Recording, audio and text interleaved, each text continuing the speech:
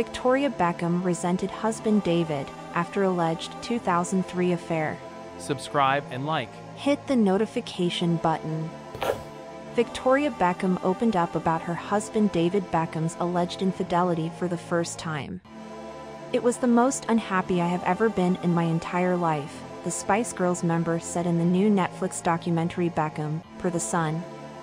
The fashion designer, who wed the former athlete in July 1999, admitted she resented David following the cheating allegations.